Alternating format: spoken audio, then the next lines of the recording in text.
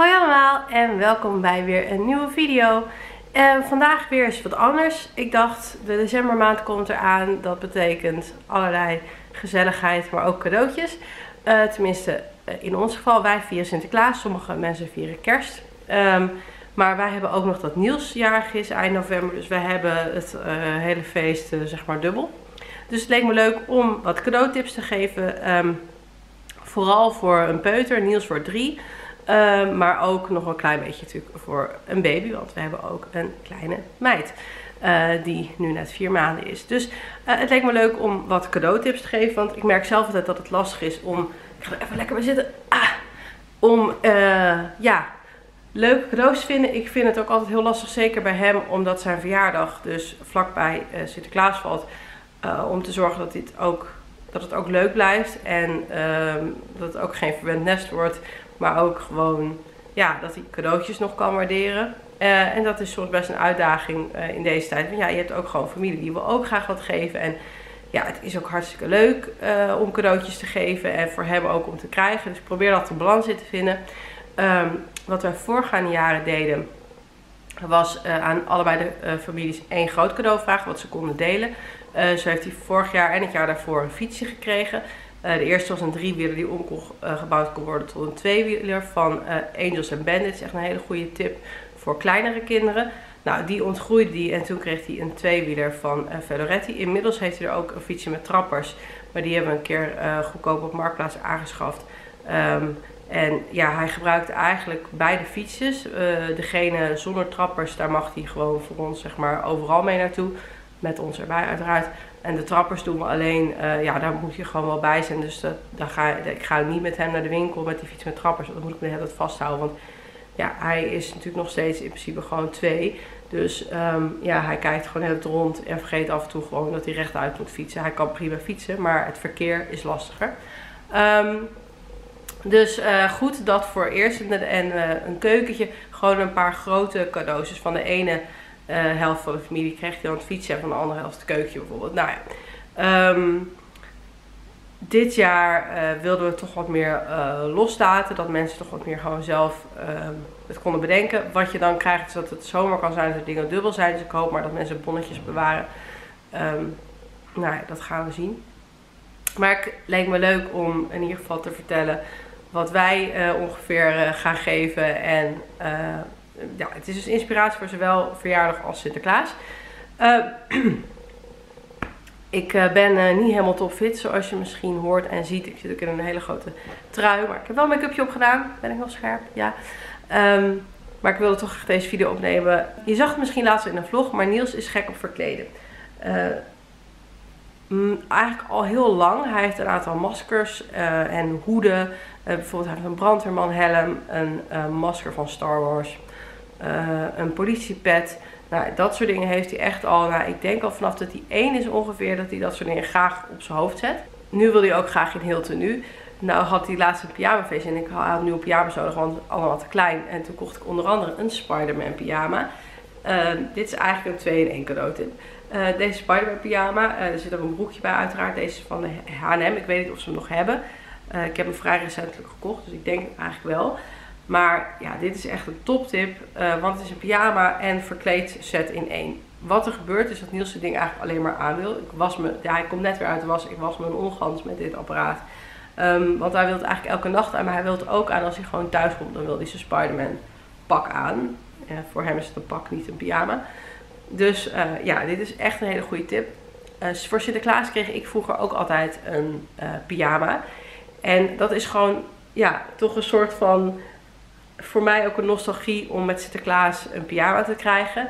Dus is misschien ook een leuke cadeautip voor Sinterklaas uh, om een uh, pyjama aan de Sint te vragen. En nou, deze is dus uh, dubbel face, omdat het dus ook een verkleed pak is. Voor wie mijn vlogs volgt, heeft ook gezien dat ik een leuke samenwerking heb met ik weet nooit hoe je het uitspreekt, maar ik zal de link hier even zetten. Vegao. Vegao. uh, een hele leuke winkel met allemaal verkleed kleding. En toen ze mij vroegen voor een samenwerking, dacht ik, ja, dit is top. Want Niels is gek op verkleden. Dus voor zijn verjaardag krijgt hij een Captain America en een Iron Man pak. Nou, ik denk dat het echt een discussie wordt om dit uit te krijgen voordat we de deur uitgaan. Want ik, hij hoeft mij niet elke dag als een superheld de deur uit. Ehm, maar dat is dus, eh, eh, daar hebben ze dus ook heel veel, ik zal het hieronder even linken, maar heel veel leuke verkleedkleding. Maar ja, ik kan me zo voorstellen dat meisjes uh, prinsessenpakken leuk vinden. Nou, Niels wil alles met superhelden. Een, een Captain America en een Iron Man pak. Nou, ik denk dat hij het fantastisch vindt. Dus zowel een pyjama als verkleedkleding is een hele goede tip. We hadden toen hij wat kleiner is ook bij de HEMA heb je ook hele leuke verkleedkleren die heel makkelijk aan uittrekken zijn. Ook voor kleinere kindjes. Nou, natuurlijk ook speelgoed. Wat ik trouwens ook heel leuk vind aan verkleedkleding is dat het goed is voor hun fantasie. Hij heeft dan zegt hij, oké, waar zijn de boeven? En dan, nou, dan wijst hij naar de hoek van de kamer. Dan gaat hij achteraan en zegt hij, wauw, wauw, ik doe ze in de gevangenis. Nou, dat dus. Um, natuurlijk Duplo. Wij hebben wel thuis een discussie Duplo of Lego. Want wij vinden allebei natuurlijk Lego leuker. Maar ik vind voor alles is een tijd. Er staat een leeftijd op de Lego doosjes. Die is er niet voor niks. Daarbij vind ik, als Eden straks gaat kruipen, wil ik helemaal geen kleine troep op de grond hebben. Dus Duplo. Duplo blijft het voorlopig nog eventjes. Hij krijgt wel twee hele kleine Lego dingetjes in zijn schoenen. En dan mag hij van mij die poppetjes mag hij gebruiken. Um, mits hij ze in elkaar houdt. Dus niet hoofdjes los van lijven. Dan mag hij ermee spelen. Gelukkig luistert hij daar wel heel goed naar. Tot nu toe. Um, dus die mag hij dan gebruiken. En de rest van de... Het is een politievliegtuig. Dus dat mag hij dan alleen spelen onder mijn toezicht. Nou, die krijgt hij nog in zijn schoen. Heb ik van Sinterklaas begrepen. Dus dat is heel leuk. Maar in principe Duplo. Uh, zo heeft hij onder andere een Duplo trein gevraagd uh, voor zijn verjaardag uh, en of Sinterklaas. En een Duplo Spider-Man met een motor. Motoren zijn fantastisch, vindt hij. Alle vervoer, vervoersmiddelen fantastisch. Leuk schoencadeautje is bijvoorbeeld ook kleine autootjes. Die heb je heel veel soorten en maten, vindt hij ook geweldig. Maar Duplo gaan we dus nu toch nog voor. Hij heeft vorig jaar ook een hele leuke set gekregen en hij speelt gewoon heel graag met Duplo. Hij bouwt ook allerlei andere dingen ermee dan hè, waar het voor bedoeld is. Dus hij bouwt met de garage van Cars, bouwt hij ook gewoon een huis of whatever. Laatst hebben we een helikopter van gemaakt. Heel leuk. Duplo kan je volgens mij ook altijd, dat, kan je volgens mij wel elk kind mee blij maken, een jongen of een meisje. Het is gewoon heel leuk en leerzaam om met die uh, blokken bezig te zijn. En nou, we proberen daar ook, hè, Niels is heel slim in heel veel dingen, maar kleuren is niet zijn sterkste kant. Ik denk niet dat hij kleurenblind is. Ik denk gewoon dat het hem niet zoveel interesseert. Maar goed, gelukkig heeft hij heel veel andere dingen die hij wel heel leuk vindt. Maar ik probeer dus ook met Duplo af en toe te zeggen van... Mag ik van jou het blauwe blokje? Nou, meestal gaat het goed. Maar als ik dan vraag um, uh, welke kleur blokjes zit, dan weet hij dan weer niet. Bijvoorbeeld. Soms ook wel. Maar misschien is dat een goede gok. Doet een nieuwe andere discussie. Maar Duplo is dus een, een, een hele leuke, vind ik altijd. En als je kinderen wat ouder zijn, zou ik zeker voor de Lego gaan. Maar wij gaan nu nog even voor Duplo. Dan, um, ja, Niels is eigenlijk zowel met dat verkleden um, als gewoon met spel, is hij altijd bezig met poppetjes. Dus met dat verkleden is hij zelf een poppetje, zeg maar. Maar um, ja, hij heeft ook echt een apart bakje met Duplo poppetjes, want hij speelt altijd hele verhalen mee. Dus uh, alles waarmee je dus een spel op gang kan brengen. Uh, zo speelt hij bijvoorbeeld op de kinderdagverblijf graag met een piratenboot. Nou zag ik een hele leuke piratenboot op de Lidl. Sowieso ook een leuke uh, tip trouwens. Lidl heeft heel mooi houten speelgoed. Zag ik toevallig laatst op de webshop. Dus um, die piratenboot weet ik toevallig dat hij van mijn ouders gaat krijgen. En er zitten ook poppetjes bij. Voor hem is het denk ik pas echt een leuk speelgoedje als er ook een potje, popje bij zit. Dus hier zitten piraten bij. Maar je kunt bijvoorbeeld ook denken aan een garage. Uh, vinden we ook een heel leuk cadeau voor hem. Of dus zo'n trein. Waarmee je dus ja, toch een heel verhaal kan bouwen. Of bijvoorbeeld een huis van Duplo kan ik me ook van alles bij verzinnen. Uh, dus zoiets waar je dus een, um, ja, echt een, een spel mee op gang kunt brengen. Een tent, dat heeft hij al. Maar dat zou ik ook als een leuke tip willen geven. Want ja, kinderen en tenten. Tenten bouwen is natuurlijk ook fantastisch. Hè? Zelf eentje bouwen. Dus een groot doek kan ook al. Maar hij heeft zo'n zo'n tippie tentje. Hebben we ooit een keer bij Kruidvat gekocht. Um, maar dat vindt hij heel leuk. En dan gaat hij erin zitten met zijn boekjes en knuffels. En dat is ook altijd een succes. Verder een voorleesboek wat ik heel leuk vind is... Dat hebben we toevallig een keer van de bibliotheek geleend. Is uh, het, het grote voorleesboek voor driejarigen. Maar dat heb je volgens mij ook voor twee en voor vier en voor vijfjarigen. Um, als je op bob.com kan je het zien. Uh, dat is een van de dingen die ik nog overweeg om hem ook cadeau te geven. Maar goed, we huren hem ook als van de bibliotheek, dus misschien dat niet nodig is. Boeken sowieso altijd een goed cadeau, vind ik. Um, hij houdt heel erg van lezen. En ja, dat is ook heel goed gewoon voor de taalontwikkeling. Ontwikkeling van hè, gewoon het begrijpen van een verhaal uh, of zoekboeken vindt hij ook heel leuk. Maar ja, dat voorleesboek voor uh, driejarigen, er staan gewoon verschillende verhalen in. Heel leuke illustraties. Echt wel een aanrader. Uh, dan de categorie spellen en puzzels. Puzzels zijn, ja, dat, daar heeft hij echt fases mee. Dus soms wil hij elke dag puzzels maken en soms wil hij het weer een tijdje niet. Nou, dat kan. Hij heeft een aantal puzzels, maar die zijn nu al vrij makkelijk voor hem geworden. Dus um, ik heb wat puzzels gekocht met wat meer, of een puzzel gekocht waar twee puzzels in zitten van Paw Patrol. Met wat meer stukjes. Dus dan heeft hij net weer meer uitdagingen. En dan zullen aan het begin natuurlijk moeten helpen. En op een gegeven moment kan hij dat ook zelf. Puzzels zijn volgens mij ook altijd wel een, ja, een leuk cadeau waar je niet genoeg van kunt hebben. um, en wat ik ook zag, ik probeer trouwens linkjes of foto's hier neer te zetten, zodat je ziet waar ik het over heb. Want ik heb namelijk alles al ingepakt, want dat heb ik namelijk gedaan. Dat ik dacht, dat doe ik op het moment dat hij niet thuis is. Slim dag. Um, is een, uh, hij krijgt trouwens niet alles wat ik nu opnoem. Hè. Ik neem aan dat dat mag duidelijk zijn. Maar uh, hij krijgt wel een deel hiervan zeker voor zijn verjaardag en een ander deel wellicht voor Sinterklaas. Maar een doos uh, met verschillende spellen erin. Van uh, Dick Bruna, dus Nijntje. Met allerlei, dus Nijntje. Met um, ja, allerlei verschillende spelletjes. En we merken dat hij spelletjes doen heel leuk vindt. Het concept verliezen is hij minder enthousiast over. Maar goed, dat is ook een leerproces. We kwartetten tegenwoordig met hem, maar dan leggen we wel de kaarten open op tafel. Maar hierin zitten dus een aantal spelletjes. En ik zag ook laatst in de folder van Kruidvat een Woezel en Pip bordspel. En dat leek wel leuk om voor Sinterklaas te vragen. En dat is dus ook echt voor kinderen vanaf drie jaar. Dus het is met een grotere dobbelsteen. Het begint trouwens heel hard te regenen. Ik denk dat het een beetje donker wordt. Um, sorry daarvoor. Met een grotere dobbelsteen. En volgens mij is het gewoon een dobbelsteen met kleuren. Dus dan moet je gewoon naar het volgende vakje in die kleur lopen. Maar dat soort dingen, um, ja, ik, zoals je merkt, probeer ik een combinatie te van gewoon leuke dingen om leuk mee te spelen, maar ook dingen voor samen. Uh, dingen waarbij, die, um, waar, waarbij ik met hem kan spelen, of een, een, boek, die, dat kan hij zelf doen, maar dat kunnen we ook samen doen. Um, maar ook dingen waarvan hij iets kan leren, hè, zoals bijvoorbeeld met kleur of met zo'n spel. Hè, dat, je, nou, dat er spelregels zijn waar je aan moet houden, dat je uh, hè, op je beurt moet wachten. Dat het ook kan zijn dat iemand anders wint. Dat soort dingetjes. Dus ik probeer daar altijd een beetje een, tussen de leuke en educatieve dingen uh, ook een beetje een variatie te doen. Uh, dus dat probeer ik ook in deze tips. Een beetje variatie, verschillende dingen. Ik kan wel 100 soorten Duplo opnoemen, maar daar heeft niemand wat aan. Um, dus ja, spellen en puzzels vind ik ook zeker een goed idee. Nou, dan nog even over de schoencadeautjes.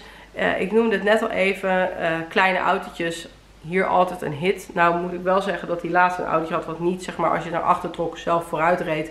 En dat vond hij toch ineens gek, want dat hoort toch te gebeuren bij auto's. Ik nee, deze mag je helemaal zelf sturen. Um, en wat ook een heel leuke is, ze hebben bij HEMA hebben ze in de knutselhoek hebben ze kleine uh, kleurboekjes. En uh, welke ik heel leuk vind is, dat is een klein boekje met een ringbandje en er zit een kwastje bovenin. En uh, dan heeft elke pagina heeft een kleurplaatje met daarboven een paar kleurtjes verf. Je dipt je kwastje in het water en dan in die verf. En dan heb je dat als kleur op je kwast zitten. Dus hoef je niet steeds, en heb je dus precies genoeg voor die tekening. Dus hoef je niet steeds al een bakjes verf klaar te zetten en zo. Dan kan je gewoon, kan je dus verven, uh, maar dan ook voor de ouders wat makkelijker. Dus een hele leuke tip, maar ze hebben wel meer. Ze hebben ook zo'n boekje waar je moet krassen en dan komt er iets tevoorschijn. Nou, volgens mij hebben ze heel veel smaken. Zijn betaalbare, leuke, kleine cadeautjes. Stickers doen het hier ook altijd goed. Uh, ook daar heeft hij fase in. De ene fase dat hij echt de hele dag door wil stickeren. En de andere fase dat hij er totaal niet in geïnteresseerd is. Maar stickers zijn wel altijd, vind ik, een leuk cadeau. En datzelfde geldt voor dingen als kleurpotloden uh, of viltstiften, dat soort dingen. Dan nog een paar dingen voor baby's. Dat is natuurlijk altijd een beetje lastig. Wat ik eigenlijk wil vragen van de Sint, maar dat is misschien een beetje duur, is een uh, Four Seasons Pukken Baby. Want dat is echt een cadeau waar je natuurlijk weer heel veel tijd plezier van hebt. Kijk, Eden heeft geen idee wat ze voor cadeautjes krijgt natuurlijk. Maar dat zou ik wel echt een leuk cadeau vinden. Verder is zijn natuurlijk kleertjes altijd handig voor baby's. Um, maar ook een aantal speelgoedjes en die zal ik even laten zien. Deze dingen heb ik al een keer laten zien in uh, mijn video uh, van mama updates. Die ik regelmatig post over hoe het gaat met Elin. Um, maar ja, misschien kijkt niet iedereen die deze video kijkt ook die video's. Dus ik dacht, laat ze toch even zien. Een knisperboekje. Uh, zeker voor een tweede kindje vind ik dit altijd een heel leuk cadeau. Omdat dit soort dingen vaak bij de eerste een beetje verloren zijn gegaan. En dan heb je weer een leuk nieuw cadeautje. Um, en ja, dit is gewoon weer lekker vers. Het knispert, zoals we horen. Maar dit vindt Elen prachtig van de panda. Dit is haar favoriet. Daar kan ze echt eindeloos naar kijken. Maar het is een heel leuk cadeautje. Uh, en ook boekjes met geluidjes. Daar is ze nu nog net iets te jong voor. Maar ik heb al wel weer eentje gespot bij Kruidvat.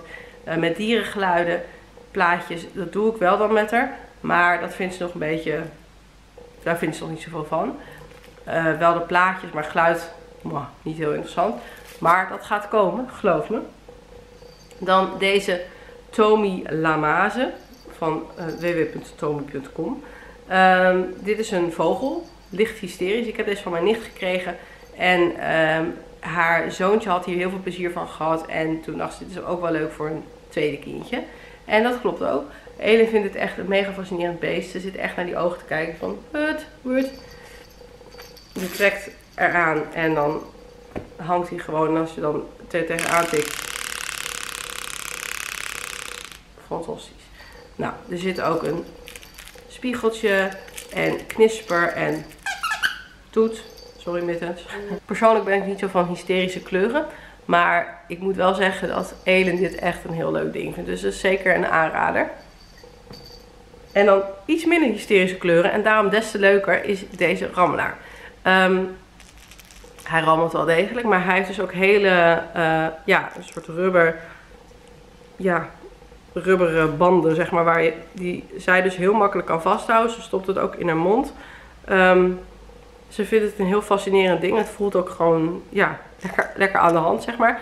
Um, en uh, het, ja, ze kan dit dus al vrij makkelijk vasthouden. En dan dus echt zo voor de gezicht houden. En dan kijken, oké, wat is dit allemaal? Um, ik heb heel lang moeten zoeken naar waar dit te koop is. Want ik heb dit als kraamcadeautje gekregen. Maar uh, ik zal de link hieronder eventjes zetten. Maar het is een heel leuke rammelaar slash ja, wat is het? Gewoon iets, iets voor, voor hen om uh, haar, uh, nou ja, fijne motoriek te stimuleren. En ik zag ook een hele leuke poppenwagen bij de HEMA. Maar ik denk dat ze daar nog een beetje jong voor is. Maar ik wil hem zo graag. Maar ik weet niet of we dat van Sinterklaas moeten vragen. Dus echt misschien nog een beetje te jong. Maar dat waren dus eigenlijk een beetje mijn tips. Heb jij nog leuke cadeautips? Denk je van dat je dit nou niet hebt genoemd? Laat het vooral je onder weten in de comments. Zou ik heel leuk vinden. En dat is ook leuk voor anderen denk om te lezen. Um, ja, ik doe volgens mij bijna elk jaar wel een cadeauvideo. Misschien dat ik ook nog wel een videootje doe met wat hij gekregen heeft. Maar het is een beetje de vraag of dat lukt. Omdat hij dan natuurlijk alles uitpakt en wil hebben. Daar ben ik trouwens ook wel benieuwd naar. Hoe doen jullie dat met verjaardagen? Gaan jullie... Um, laat je ze maar een paar cadeautjes uitpakken en leg je de rest weg. Um, of laat je ze alles uitpakken en verstop je daarna weer wat speelgoed. Of doe je gewoon alles laten liggen. Daar ben ik eigenlijk heel benieuwd naar. Uh, want daar twijfel ik een beetje over. Omdat je gewoon, ik denk dat het heel veel is. Zeker in combinatie met Sinterklaas. Maar ik vind het ook heel ondankbaar om een deel van de cadeautjes niet uit te laten pakken. Dat hoort eigenlijk gewoon niet. Um, vind ik, ja, dan denk ik, het is ook niet leuk als je een cadeautje komt brengen en je ziet niet of het kind het leuk vindt, zeg maar. Dus ja, hoe doen jullie dat eigenlijk? Ben ik heel benieuwd naar. Um, tips zijn altijd welkom. Ik hoop dat je deze video leuk vond zien. Ik wil je alvast een fantastische feestdagen uh, wensen. Ik ben heel benieuwd, vier jaar kerst of Sinterklaas of geef beide of allebei. Um, en uh, ja, wat doe je dan? Laat maar weten. Ik uh, zie jullie heel graag volgende week bij een, of aankomende zondag bij een nieuwe vlog. En heel snel weer bij een extra video. Doei!